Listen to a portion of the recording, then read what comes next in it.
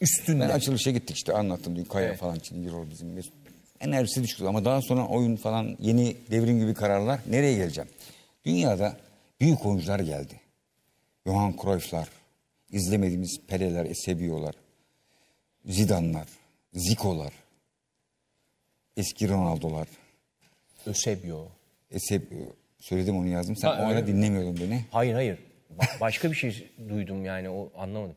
Eusebio belki başka bir şey algılamışımdır. Ha. Hem Eusebio hem Eusebio yok. Ben Eusebio Peki. dediysem haklısın. Peki tamam. Sonuçta şimdi altın çizilmesi gereken konu şu.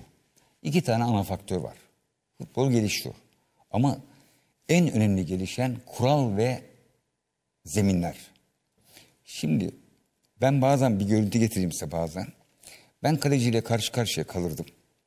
Ben kendim için söylemiyorum, hücum oyuncusu için. Kaleciyi geçeceğim, golü atacağım değil mi? Normalde yarım metre, bir metre geçip atacağım.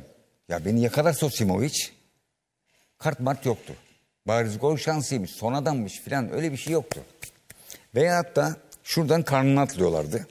O zaman oyuncuların lakapları neydi biliyor musun? Tekvando Nurettin, rahmetli Kasap Yılmaz. Şimdi şöyle lakapları duyuyor musun? Yok. Sertliğe çok müsaade vardı. Bir, iki. Çok önemli. İki, topu mu süreceksin? Tarla gibi saha veya toprak veyahut da böyle hani Sekerek gider, Sekerek. Keçi yürürse menisküs olur derdik o zamanlar. Hala diyoruz da. Topla koordinasyonu mu yapacağım? Bu arada yediğim tekmeyi mi kurtaracağım kendimi? Kart yok ya. Şimdi günümüz oyununda dünyanın sayılı oyuncuların yedikleri faullere bakalım. Şimdi oyun kurallarının üzerinden gidelim büyük oyuncular küçük. Mesela bizim zamanımızda savunma oyuncuları 1 lira kazanırdı. Biz forvet oyuncuları 4 lira kazanırdık, 5 lira kazanırdık. Şimdi artık oyun kuralları savunmanın aleyhine olduğu için bariz gol şansı çekme şudur budur. Onlar da de, Tabii şimdi 4 liraya 5 lira. Şimdi bakın Dünya Kupaları tarihine oynadığı maç sayılarına baktığımız zaman Cristiano Ronaldo 58 kez faule maruz kalmış. Neymar 60. Cahil Sinio hatırlarsın değil mi? Hatırlarım hocam. Çok kişi hatırlamaz Aslında da. mesela Ya, enteresan bir bir saniye şey. 65. Aslında Maradona niye yok değil mi? Olur mu var? Ha buyur abi Maradona kaç abicim bakar mısınız? Pardon? İzleyiciler iyi seyretsin. Diego Maradona 152. Faul yapılmış Dünya Kupalarında. Bir altı inelim. Messi 50. 58 galiba. 58. Şimdi bir maçta sevgili izleyiciler bir maçta 23 faul yapılmış Maradona'ya. Bunun sonucunu biliyorsun değil mi? Biliyorum 3-2. Hayır hayır. Yok, yok, biliyorum. hayır hayır ne olduğunu biliyor musun? Gentile'ye gitti en sonunda tekmeyi attı. Hadi Allah'a Şimdi ısmarladık. 23 faule maruz kalmış. Bu arada görüntü izlesinler. Zaten bir tane yer bu. Devam ederdi. Bir tane daha yerdi. Tabii, tabii. Yine devam eder. Çünkü kartta yok ya. Devam etti. Bir de kuvvetliydi Maradona. Tabii. Onun için Messi'nin dünyanın en iyi oyuncusu olması için Dünya Kupası'nı kaldırmasına gerek yok. Atama olmadı. Yani Messi dünyanın en iyi futbolcusu demeyecek miyiz? Ama ben her zaman söylüyorum. Maradona'yla e, aynı demeleri için insanların ki ben yakaladığını düşünüyorum ama hiçbir zaman geçecek bir oyuncu ben bilmem görüp görmeyeceğimi. Messi'yi e, Maradona ile kıyaslanır. Artık başkasıyla pek kıyaslanmıyor. Yok. E, Dünya Kupası'nın kaldırılmasına gerek yoktu.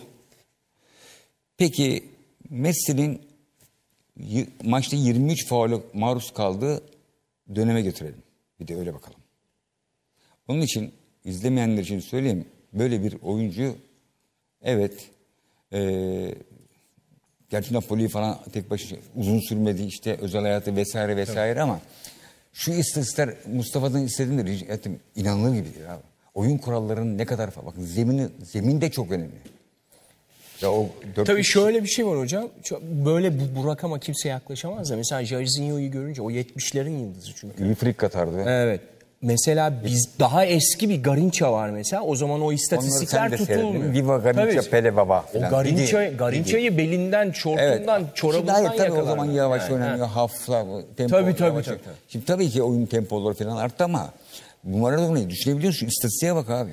Bir futbolcuya 23 tane faul olur mu ya? Daha bak maç bitmeden de atılmış diyorsun. Ben o maç... Ya bırak Hatırladım, gitti. ben de hatırladım. Dedi ki tamam maç Yoksa 3-1 miydi neydi? iyi Dünya Kupası bu falan değil. 78'i seyrettim. Ben 82, 78 82 86. benim için 82 biridir. Şöyle söyleyeyim Afrika Dünya Kupası dışında çoğu birbirinden güzeldi. Hep hemen hemen. Afrika'yı ben beğenmemiştim. Katar'da iyi oldu ama o 78 finalini hatırlayalım abi Arjantin'deki final. 3-1'lik. O yüzden Hollanda. şu toprağı bol olsun. Muazzam. Yani 23 faul falan bir tane oyuncu 23 tane faul yediği zaman bırak kırmızı kart görmeyi. Valla yeni jenerasyon tabii farklı düşünüyor olabilir ama 82 İspanya yani o kadar unutulmaz şeyler. Hele o Brezilya takımı 82'de Rossi'nin tek başına elediği Falcao'lu evet o maç gibi tarihi yani dünya futbol tarihinin öyle, bir maç yok. Yani 50 dakika ilk- uğraştılar 2-2 yaptılar Falcao'yla. Yine 10 Sokrates saniye sonra Rossi. Evet, hayır Falcao attı. Ha uzaktan Öyle geldi. uzaktan çekti öbür tarafa vurdu. 2-2 Türkiye Ama ne kadro Se- evet. biz seyrederken. Rossi, evet. Rossi yine attı. Evet attı yine 3-2 yaptı. 30 saniye sonra. E daha bir sonra sonra. Baggio'nun penaltı kaçırdığı maç var. Tabii. Brezilya'nın. Önemli. 94 78 Amerika. Dünya Kupası finalinde hatırlarsan Arjantin. Bence en kötüsü 90 İtalya'ydı hocam. Zaten geri pas kalktı o. 74'de çocuktum böyle kahveleri Tabii, seyrediyorduk. Gerd Müller. Mayer Fox, Schwarzenbeck, Beckenbauer, Bracknet, Bonhoff, Overatones, Kroos. bunları bravo. var.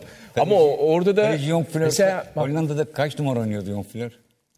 e, iki mi? değil mi kaleci? 8. Seki, e, şey Ardiles bir numara çıkıyordu Evet. 78. Neyse 78 bir nostalji yaptık. Bir numara oynuyordu hatırla Bazen 78'de. Kaleci Birol bizim bazen şeyler yapıyor Dünya Kupası'nda falan da acayip bir nostalji geliyor hakikaten. Çok çok büyük oyuncular geldi onu söyleyeyim size. Ama 74-78 bugünkü Hollanda'nın hayal Maradona kırıklığı. uymayacak mıydı? Ya bir Johan Cruyff geldi dünya futbolundan. Ne fut- İşte diyorum ya hocam Kafasını- 74-78 kafasını iki yerde final görmezdin. Böyle kafa havada beklerdi. Müthiş Muazzam. futbolcu. Messi tabii